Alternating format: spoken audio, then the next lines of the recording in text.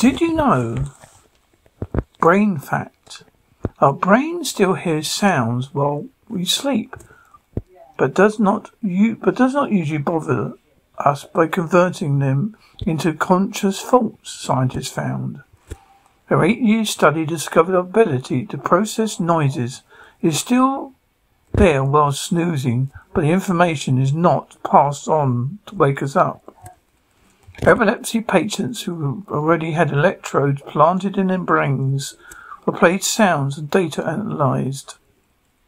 Neuroscientist Hannah Hayat of Tel Aviv University said the brain's response to sounds during sleep was much stronger than expected.